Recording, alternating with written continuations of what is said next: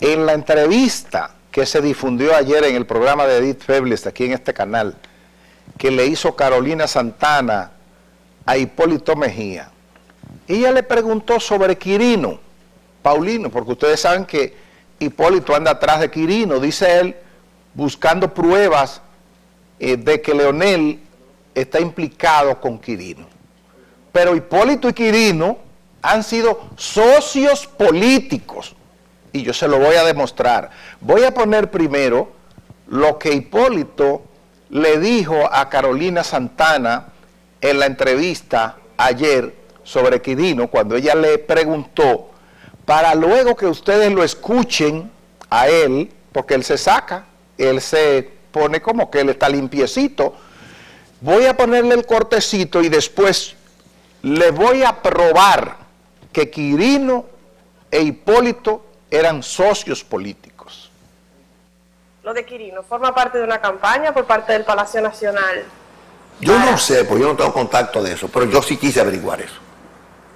¿Cuál es su relación con Quirino? No, ninguna, yo lo fui a ver porque yo quiero saber, yo quería saber la realidad de lo que él había dicho, creyendo la pregunta de homicidio. Digo, eso fue patrocinado. Me dijo a mí que no. Él había sido superior, había que venir para acá. Él vino, él dijo muchísimas cosas, nadie le hizo caso y yo quería saber si era. Me dijo eso y muchísimas cosas más que tú comprenderás que no, no debo decir, pero la conozco ya, su versión, y de otros también. Así que tenía que, entonces saqué, mi maestría en eso y mi PhD, que había de lo que yo conocía y ya ratificado por los actores de ese proceso. Que es interesante a mediano, corto y largo plazo, ¿eh? porque eso va a dar resultados para nutrir la, experiencia y lo que tendrá que ser la decantación de un proceso serio de justicia en el país. Usted dijo que iba a dar unas declaraciones al país en su debido momento. ¿De qué, ¿Sobre qué temas se Diré ya la Fundación Global.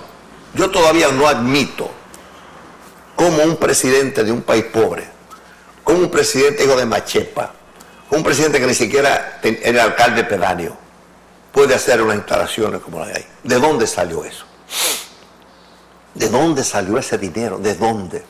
Que hubo un chantaje. Yo tengo la lista del dinero que dieron en Baninter, porque tú sabes que existe chantaje en muchas empresas. Si tú eres jefe político, tú dices, mira, yo necesito que tú me ayudes a, que le haga una casa a un amigo, pero yo te firmo el cheque si le hace la carta. Entonces, eso ahí hubo chantaje. Yo tengo el listado ese, del que yo no tengo la, la inversión posterior a lo que ha venido, que lo que hay pruebas inequívocas de que ese señor que ustedes van a ver ahí, aquí vino Ernesto Paulino Castillo, era socio político de Hipólito Mejía. Socio político. Ustedes saben que Quirino fue apresado con un cargamento de drogas de más de 1.300 kilos de cocaína. Ahí ven ustedes las pacas. Esas fueron las fotografías de lo que se le incautó a Quirino. Y después fue extraditado a Estados Unidos. Ahí lo ven ustedes, eh, extraditado a Estados Unidos. Eh, y después de eso, yo quiero hablarles a ustedes del vínculo político entre demostrárselo, para que ustedes no crean que estamos hablando de disparate, el vínculo político entre Hipólito y Quirino. Miren ese titular, ese es del periódico Hoy, titular del periódico Hoy. ¿Qué dice ese titular? Paulino Castillo fue juramentado en el PRD cuando era oficial del Ejército Nacional. Ahí Quirino era capitán del ejército en ese tiempo. ¿Quién lo está juramentando? Sergio Grullón Estrella, secretario de la presidencia y cuñado de Hipólito Mejía, sabiendo que es capitán, porque a Quirino lo sacaron del ejército, Hipólito no solo lo reingresó, sino que lo, le aumentó el cargo, lo ascendió, y sabiendo que era capitán del ejército, lo juramentó como su jefe de campaña en el suroeste. Ahí tienen ustedes atrás a Hipólito Mejía, que no pueden decir, ah, no, que ese era Sergio Grullón. Sí, ahí está Sergio Grullón, pero ahí también está Hipólito Mejía con Quirino, que era su aliado, su aliado político, y que lo juramentó y lo ascendió y lo protegió siempre. Después, ¿cuál era el hombre más cercano a Hipólito Mejía después de su cuñado? Pepe Goico. Pepe Goico. ¿Con quién van a ver ustedes a Pepe Goico ahora? Con la esposa y el hijo de Quirino. Cuando a ella la condenaron, ese es Pepe Goico, hombre cercano a Hipólito Mejía. Pero yo le voy a dar ese titular, yo no suelo citar a Vincho Castillo, pero miren eso, eso al momento.net, en República Dominicana hay pruebas de que Hipólito Mejía protegía a Quirino. ¿Y, ¿Y qué fue lo que dijo Vincho ahí? Pruebas fehacientes de que Hipólito Mejía y protegían a Quirino. Dijo, el general Soto Jiménez, y eso es verdad, bajo juramento lo hizo, el general Soto Jiménez, bajo fe de juramento ante un tribunal de justicia, describió cómo le llevó, le llevó él, Soto Jiménez, la cancelación de Quirino a Hipólito, señalándole sus vínculos con actividades ilícitas y la imposibilidad de explicar su fortuna. Soto Jiménez se lo llevó. Y fue Hipólito Mejía el que le ordenó a las Fuerzas Armadas que se apartaran de la investigación, que él iba a investigar. Y lo que hizo posteriormente fue ascenderlo, nombrarlo jefe de campaña eh, para su reelección y hacerle una pista de la, de la, Fuerza Aérea Dominicana en las inmediaciones de la finca de eh, Quirino en Elias Piña, ¿verdad? Ahora, yo le voy a decir una cosa. Hipólito siempre dijo, Hipólito dijo, que no, que él no tenía nada que ver con eso.